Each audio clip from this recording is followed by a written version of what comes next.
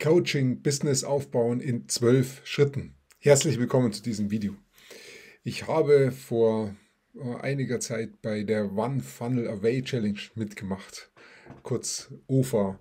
Das war in 2018, glaube ich, im Herbst, hat die zum ersten Mal stattgefunden und ich war auch dabei.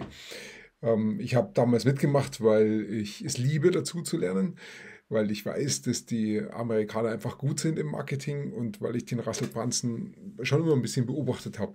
Der war nämlich der Verkäufer oder der Anbieter von, diesem, von dieser Challenge und ich habe eigentlich erwartet, dass die relativ teuer ist und da sie sie für 100 Dollar damals angeboten haben, habe ich mir gesagt, das ist ein No-Brainer, da brauche ich nicht großartig nachdenken, da mache ich einfach mit. So bin ich dazugekommen zu dieser One Funnel Away Challenge. Die hat dann auch gestartet. Ich glaube, das waren tägliche Videos das war sogar ein Vorbereitungskurs, der ging, glaube ich, fünf Tage mit dem Stephen Larsen, das war der Coach damals. Und äh, als das losgegangen ist, hat der gesprochen und ich habe so gut wie nichts verstanden. ich bin irgendwie neben mir gestanden, habe mir überlegt, wo bin ich hier gelandet? Ich verstehe nichts, Hilfe.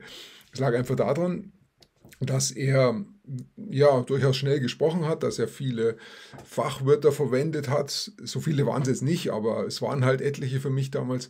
Und ähm, ich war halt da nicht so fit in dem Englisch hören und dann auch noch gleich umsetzen. Ich habe also wirklich, aber ich bin dran geblieben, weil ich habe ja auch bezahlt, ich will das ja auch lernen und habe dann am dritten oder vierten Tag mit äh, plötzlich einen Lichtblick gehabt. Dann habe ich plötzlich verstanden, um was es gegangen ist. Bis dahin ging es eigentlich immer so, ich weiß nicht genau, was hier passiert. Ich habe nur gemerkt, es sind sehr, sehr viele Leute mit dabei in dem in diesem Zoom-Call war das damals. Und ähm, dann kam also dieser Durchbruch. Ich habe mir gedacht, wow, was der da macht, jetzt habe ich es plötzlich verstanden. Und äh, das Interessante war, ich bin dann wieder zurückgegangen und habe mir die Aufzeichnung angeschaut von den Zoom-Calls davor, denn die waren zum Glück alle da. Und beim zweiten Mal anschauen habe ich dann schon deutlich mehr verstanden, um was es gegangen ist. Und beim dritten Mal noch mehr. Und die waren, die waren richtig gut. Ich habe dann auch wirklich verstanden, um was es geht. Und der Stephen Larsen hat einen, einen super Ansatz. Er sagt nämlich, das ganze Marketing ist eine Wissenschaft. Und wenn ich die Wissenschaft verstehe, dann kommt der Erfolg automatisch. Dann kann ich das gar nicht mehr abwinden. Und das hat mich natürlich schon fasziniert, weil bis dahin hatte ich immer so die, den Gedanken, wo fange ich denn diesen Wollknoll genau an? Da gibt es so viele verschiedene Fäden. Und welcher ist denn da jetzt der, der mich wirklich zum Ziel bringt und wie bringe ich denn, wie muss ich die ganzen Wollknäuel, die ganzen Fäden zusammenspinnen, damit es funktioniert. Und jetzt kommt der Stephen Larsen und erklärt mir, es ist eine Wissenschaft, du kannst in der ganz bestimmten Reihenfolge vorgehen und dann kannst du, dann kommst du praktisch zum Erfolg. Und das ist immer das Gleiche bei jeder Firma, die was verkaufen möchte und die ganz speziell dann auch online verkaufen möchte. Und mir hat es einfach gefallen, wie gut er es gemacht hat. Also das war irgendwie eine Wellenlänge, die mir gefallen hat. Und seitdem ist er auch irgendwo mein Coach. Äh, mittlerweile habe ich dann ein bisschen mehr erfahren über ihn, dass er nämlich bei dem Russell Brunson auch selber angefangen hat zu lernen. Davor war er, hatte zwar immer versucht, online was aufzubauen, aber es ist ihm nie so richtig gelungen. Auch nicht, als er beim Russell Brunson war. Aber er war beim Russell Brunson halt praktisch neben dem Russell gesessen, hat gesehen, wie er immer wieder seine Funnel-Systeme aufbaut, seine Verkaufssysteme online und dann immer wieder einen Haufen Geld mit verdient. Und er, äh, der Stephen Lawson, war derjenige, der das halt umsetzen musste. Der war der, der Coach der, der Kunden vom Russell Brunson. Der hat ihn ja dafür extra angestellt. Und äh, irgendwann er hat, war ja dann der Coach vom Inner Circle, das ist die, der innere Kreis vom Russell Brunson, die also richtig viel Geld bezahlen für, diesen, für dieses Coaching. Ich weiß nicht genau, wo das liegt. Waren es 50.000 Dollar im Jahr oder so, also es war schon richtig viel.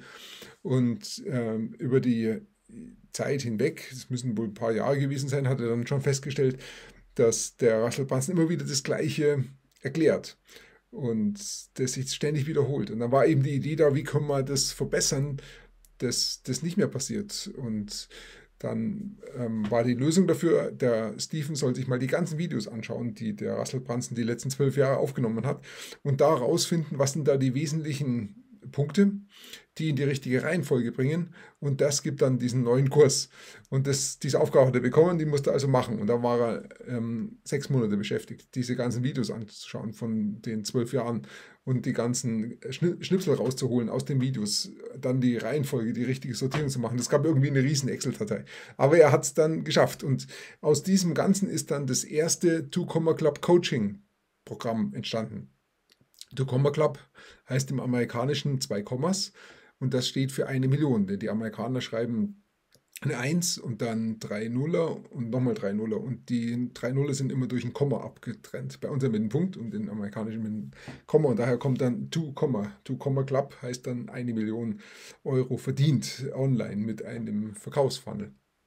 Also dieses 2, Club Coaching hat dann das, das erste ähm, den ersten Kurs bekommen, das erste Programm und das war genau das, was der Stephen Larsen da herausgearbeitet hat. Und er war dann auch der einzige Coach für 600 Teilnehmer in diesem Coaching. Also er hat wirklich sehr viele verschiedene äh, Geschäfte gesehen und hat dabei auch sehr viel gelernt. Auch weil er gemerkt hat, bei diesem To Comma Club Coaching, was sie da gemacht haben, gab es immer wieder Nachfragen zu bestimmten Stellen, wo er gemerkt hat, oh, da fehlt noch ein bisschen was, da kann man noch ein bisschen was ergänzen. Und das hat er dann mit seinen ähm, Strukturen und mit seinen Frameworks ergänzt, sodass dann letztendlich was rausgekommen ist, was ähm, noch besser, noch ähm, genauer die Dinge auf den Punkt bringt. Und das hat er dann genannt, dieses Ergebnis hat er dann genannt Xavier, also X-A-V-I-E-R. Und dieses Xavier Framework, das ist das, was der Stephen Lawson entwickelt hat und mit dem das möglich ist, wenn ich, wenn ich das anwende und verstehe, dann kann ich Angebot und Verkaufstext zusammen erstellen und bekomme dann wirklich ein unwiderstehliches Angebot, das sich eben durch diesen Verkaufstext auch automatisch verkauft. Und genau darum geht es heute in diesem Video. Ich werde dir genau dieses System vom Stephen Larsen vorstellen. Und zwar sind es insgesamt zwölf Schritte und die gehen wir alle gemeinsam jetzt durch.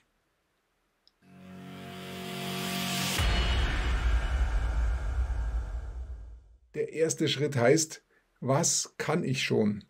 Hier geht es um Inventur machen, feststellen, was wir schon alles haben, was du schon alles hast.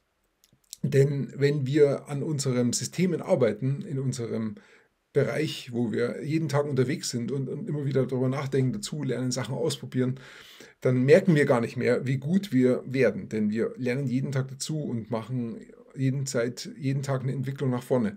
Was uns halt auffällt, was mir jedenfalls immer so geht, wenn ich mich mit anderen Coaches beschäftige und von ihnen lerne, wie wenig ich weiß, weil ich ja immer merke, ich kann immer wieder was dazulernen. Aber ähm, was ich dabei übersehe, ist bei den ganzen Menschen, die, die diesen Weg nicht mitgehen von mir, ähm, sondern mich vielleicht beobachten, für die weiß ich so viel mehr und bin so weit voraus. Und darum geht es jetzt bei diesem ersten Punkt Inventur machen, festzustellen, was weiß ich schon alles, was kann ich schon. Also wirklich aufzulisten, ähm, was ich schon alles habe. Zum Beispiel habe ich hier diesen YouTube-Kanal oder ich habe auch noch einen Podcast oder ich habe auch noch äh, meine LinkedIn-Seite, wo ich auch regelmäßig poste. Bei dir ist das ganz was anderes, aber dieser erste Punkt ist wichtig. Stelle fest, wo du jetzt gerade stehst.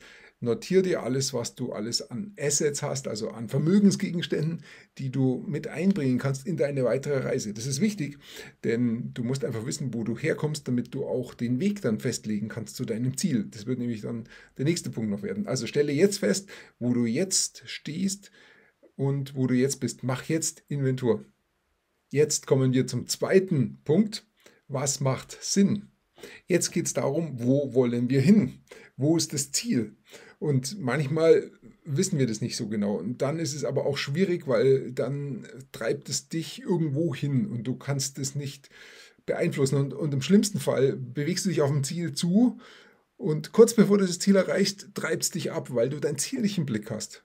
Und dann gehst du auf ein anderes Ziel zu und hast du weder das Neue noch das Alte erreicht. Deshalb ist es so wichtig, dir wirklich Gedanken zu machen, jetzt in diesem zweiten Schritt. Was macht Sinn? Was ist dein Ziel? Wo möchtest du hin? Und das Schöne dabei ist ja, du kannst dir das Ziel selber festlegen. Es schreibt dir keiner vor. Ähm, du kannst es wirklich auswählen. Sicherlich geht nicht jedes Ziel, aber es gibt sehr, sehr viele verschiedene Ziele und du darfst dir eins aussuchen. Und da empfehle ich dir halt wirklich eins rauszusuchen, wo du dir vorstellen kannst, das würde mir Spaß machen, das kann ich auf Dauer machen oder zumindest längere Zeit machen. Und ähm, da kannst du verschiedene Kriterien anwenden. Die wichtigste, das wichtigste Kriterium ist wahrscheinlich, ähm, wie kann ich meinen Lebensunterhalt damit verdienen? Was soll ich verlangen? Welchen Preis soll ich verlangen? Und ähm, da ist ein guter Ansatz von Stephen Lawson. Er sagt, verkaufe nur ein einziges Produkt, zumindest jetzt am Anfang. Und äh, dieses eine Produkt, das muss in der Lage sein, deinen Grundbedarf abzudecken. Das heißt, all deine Kosten, deinen eigenen Lohn, den Lohn deiner Mitarbeiter, falls du sie hast, und die Grundkosten deiner Firma. Ähm, was halt alles da ist, wie Miete zum Beispiel oder Abschreibungen oder Ausgaben. Die ganzen Grundkosten muss dieses eine Produkt abbilden. Das ist das, das Kernprodukt deines Unternehmens, aber mehr nicht.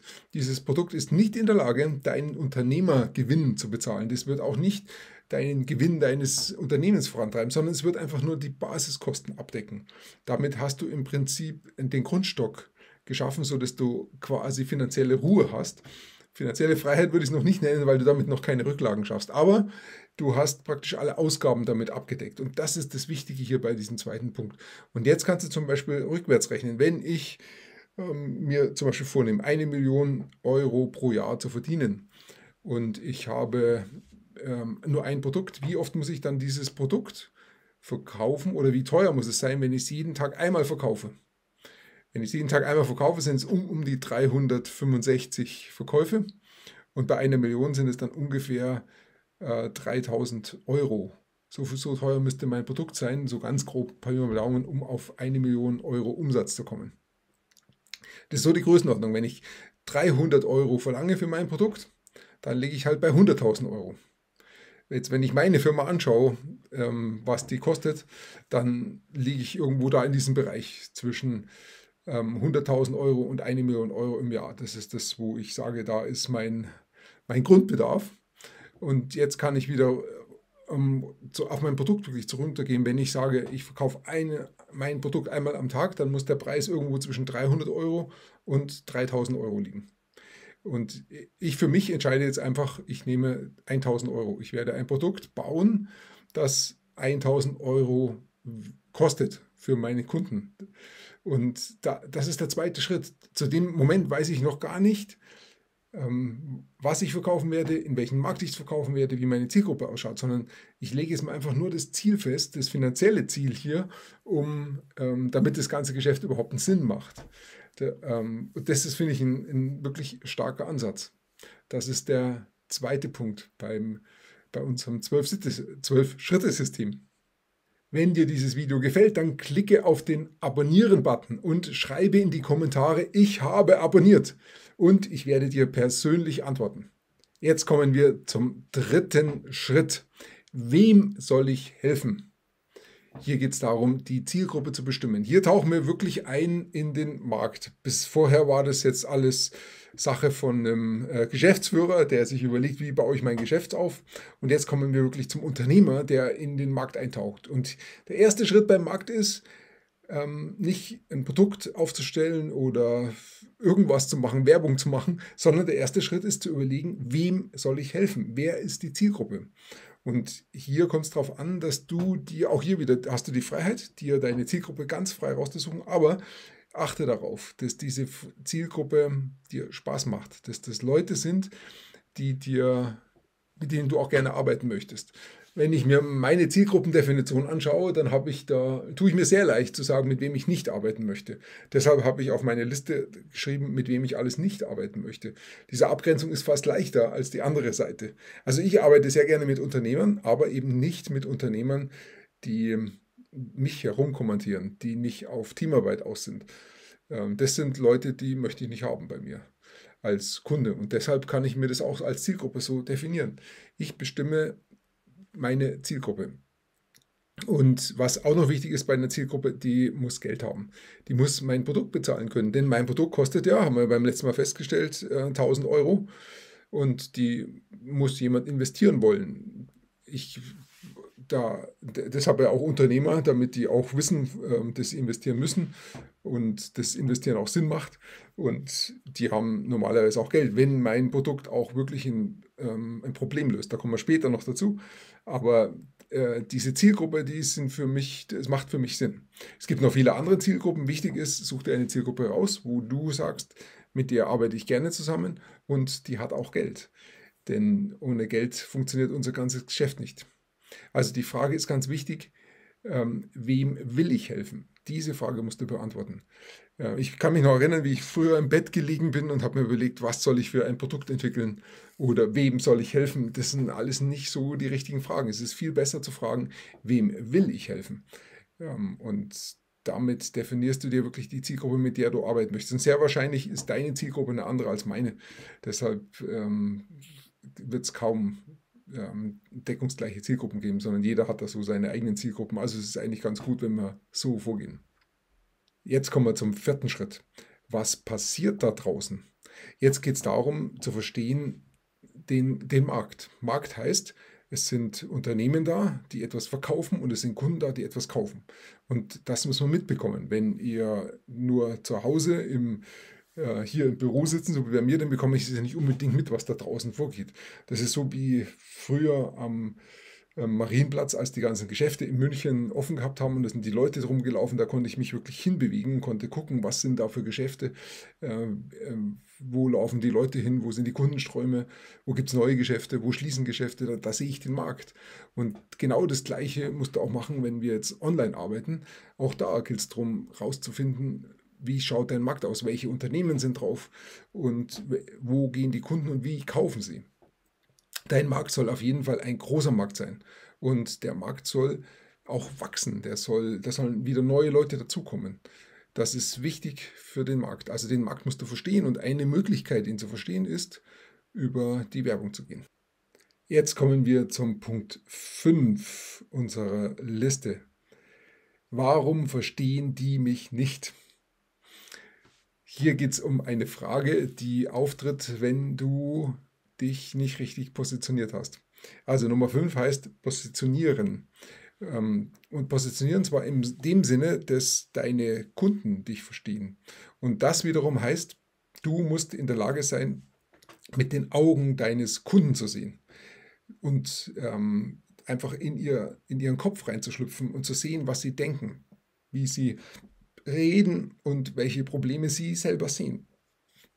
Das ist Arbeit, denn das heißt für mich, ich muss mich wirklich darum kümmern, was meine Kunden schreiben, denken und wie sie die Welt sehen. Und da hilft es auch nichts, wenn ich dann sage, ja, aber oder ich habe nochmal die Lösung. So, das, um das geht es überhaupt nicht. Es geht überhaupt nicht um mich, sondern es geht um meinen Kunden, um unsere Kunden, dass wir sie auch wirklich verstehen. Was treibt sie an? Welche Probleme, welche Sorgen, welche Nöten haben sie? Denn wie ihnen wollen wir helfen. Also müssen wir wirklich zuhören und ähm, uns auch wirklich genau in sich hineinzuversetzen, damit wir das verstehen und uns dann auch wieder richtig positionieren können. Positionieren heißt, äh, dass wir dann auch gen genauso sprechen, dass sie uns richtig verstehen. Dass wir also nicht über irgendwelche tollen Sachen sprechen wie Sales Funnel und One Funnel Away Challenge, Offer und das interessiert unsere Kunden nicht, sondern unsere Kunden haben einen besonderen Gedanken, zum Beispiel Coaching-Business aufbauen. Wie baue ich denn jetzt mein Coaching-Business auf? Ähm, dann muss ich auch genau da über diesen Punkt sprechen und äh, auch die Gedanken verwenden, die meine Leute im Kopf haben. Das heißt positionieren. Also genau an der Stelle mich dahin bewegen, wo sich meine Kunden bewegen und da mit ihnen zu sprechen in ihrer, in ihrer Wortwahl und, ähm, und sich nicht jetzt ähm, versuchen, durch viele Learnings und durch viele Schulungen dazu hinzubewegen, dass sie das gleiche wissen wie ich. Das ist nicht das Ziel, sondern das Ziel ist, mit ihnen so zu reden, wie sie reden und denken den ganzen Tag. Deshalb ist es auch wirklich Arbeit. Ähm, da müssen wir uns selber so verändern, dass wir so werden wie sie und äh, die Welt mit ihren Augen sehen können. Das ist der Punkt Nummer 5. Jetzt kommen wir zum Punkt Nummer 6. Was hält Sie nachts wach? Wenn wir dieser Frage nachgehen, dann verstehen wir die Probleme unserer Zielgruppe. Probleme gibt es immer wieder und es gibt unglaublich viele Probleme. Aber welche Probleme sollen wir uns denn hm, annehmen? Wichtig ist erstmal alle Probleme zu sammeln, die unsere Zielgruppe hat. Und je länger diese Liste wird, umso besser. Denn das ist dann quasi wie so ein Klavier und du kannst auf diesem Klavier spielen. Ähm, also es gibt sehr viele Probleme und wenn wir uns so ein Problem annehmen und es auch lösen wollen, dann muss es aber auch was wert sein im Kopf unseres Kunden. Wenn wir irgendein kleines Problem nehmen, dann können wir damit kein 1000 Euro Produkt bauen, sondern es muss schon ein großes Problem sein, was für unseren Kunden schwierig ist und die 1000 Euro auch wert ist. Dann kann es funktionieren. So als Beispiel, ähm, wenn jemand über 100 Kilo wiegt, aber abnehmen möchte auf 80 Kilo und das schon oft probiert hat und wirklich nicht weiterkommt, ähm, dann kann das so viel wert sein für ihn. wenn ich ihm dazu eine Lösung biete, dass er das auch wirklich schaffen kann und auch wirklich umsetzen kann in einer für ihn akzeptablen Zeit.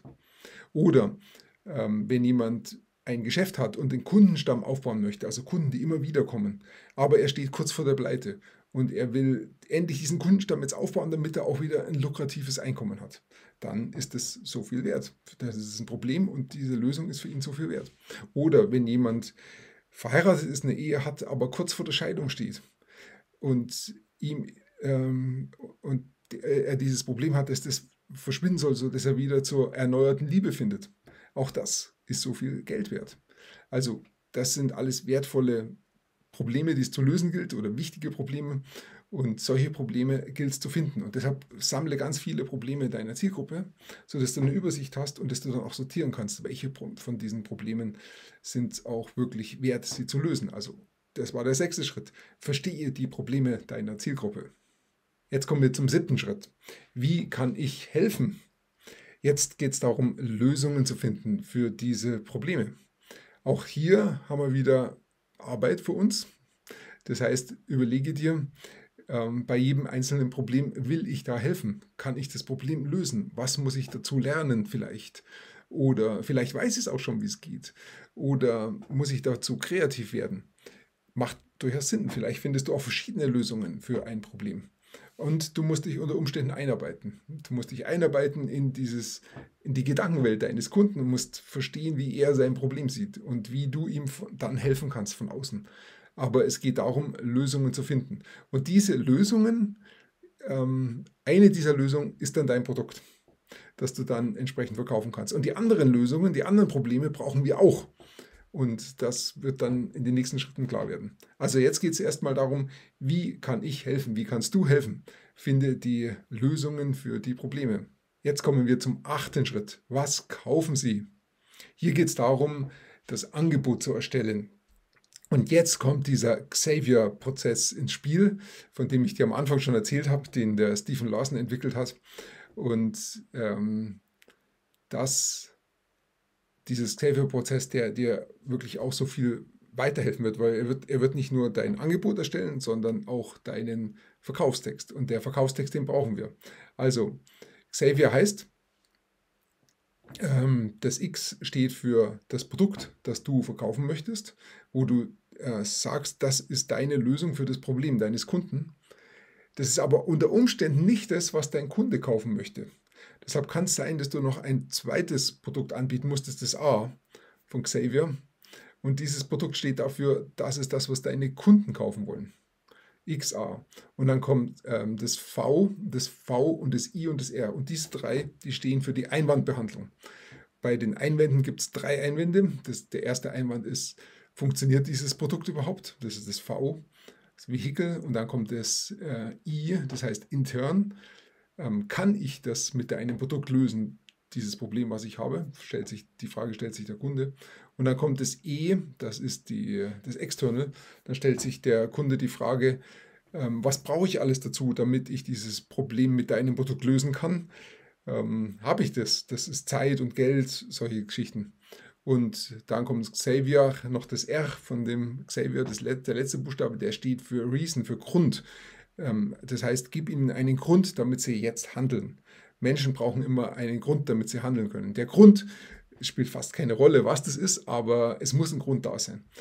Das ist das Xavier, ähm, der Xavier-Prozess, den du da anwenden kannst, um dieses perfekte Angebot zu erstellen. Das ist der achte Schritt. Jetzt kommen wir zum neunten Schritt. Wie soll ich denn verkaufen? Hier geht es darum, den Verkaufstext zu bestimmen. Und die Lösung dazu ist mit Stories, mit Storytelling. Wenn du dazu mehr wissen möchtest, dann kannst du dir das erste Video meines, neues, meines neuen Kurses kostenlos holen. Und das findest du unter petermartini.de-kunden. Geh einfach da drauf und dann bekommst du das erste Video. Und da erkläre ich dir genau, wie du mit Storytelling Kunden gewinnen kannst. Jetzt kommen wir zum zehnten Schritt. Welche Verkaufsmethode funktioniert heute? Jetzt werden wir die Verkaufsmethode bestimmen. Das, was immer funktioniert, ist der 1 zu 1 Verkauf.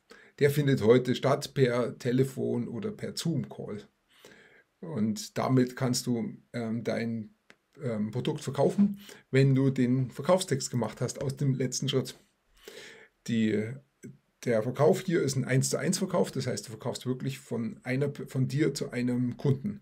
Hat den ganz großen Vorteil, dass du sofort unmittelbares Feedback bekommst, dass du sofort hörst, was funktioniert und was nicht funktioniert. Und wenn du hier genügend Verkäufe gemacht hast, dann weißt du das, was funktioniert und was nicht funktioniert. Und du kannst dich wirklich darauf einstellen, dass du immer wieder die gleichen Dinge sagst, weil du weißt, das funktioniert. Und wenn du an der Stelle bist, dann kannst du einen 1 zu N Verkauf machen. Das heißt, du lädst eine ganze Gruppe von Menschen ein und hältst einen Vortrag und sagst in dem Vortrag genau die Dinge, die vorher auch schon im 1 zu 1 Verkauf funktioniert haben. Und da kaufen die Leute auch. Und der, ähm, das Pendant dafür online ist das, das Webinar. Also du hältst einen Vortrag vor einem Video und alle Leute schauen dir zu. Und äh, mit diesem Webinar kannst du gleich mehreren Leuten gleichzeitig verkaufen. Das ist die Verkaufsmethode im zehnten Schritt, die funktioniert. Jetzt kommen wir zum elften Schritt. Wie kann ich Content erstellen? Jetzt geht es darum, Werbung zu machen, damit deine Zielgruppe auch zu dir findet. Wobei dieses Content, sagt Stephen Lawson, auch kein Content ist, bloß damit man Content erstellen, sondern der, dieses, dieser Content hat eine besondere Funktion. Er soll wirklich deine Kunden zu dir bringen, sodass sie auch kaufen. Darum geht es. Also es geht darum, Werbung zu machen, die auch deiner Zielgruppe wirklich hilft, sodass deine Zielgruppe auch von dir angezogen wird. Da geht es nicht darum, dass du viele Likes und Klicks bekommst. Das spielt überhaupt keine Rolle. Um das geht es gar nicht. Sondern es ist wichtig, dass du sichtbar bist und dass du immer wieder verweist auf dein Angebot, sodass die Leute auch wirklich wissen, wie kommen sie zu deinem Angebot hin und dass sie auch merken, dass du ihnen hilfst, dass dieser, dieser Content, den du erstellst, auch wirklich hilfreich ist für deine, für deine Zielgruppe. Wenn du ihnen hilfst, dann schaffst du damit auch das Vertrauen, sodass sie dir auch zutrauen, dass du ihnen noch mehr helfen kannst. Und dann klicken sie auch wirklich auch auf deinen Link und kommen zu deinem Angebot. Und jetzt kommen wir zum Punkt 12, der letzte Punkt der Liste. Warum brauche ich eine Aktion? Wenn du eine Verkaufsaktion durchführst, dann wirst du einfach deutlich besser verkaufen. Eine Verkaufsaktion heißt einfach, die beginnt zu irgendeinem Zeitpunkt und hört zu einem Zeitpunkt auf.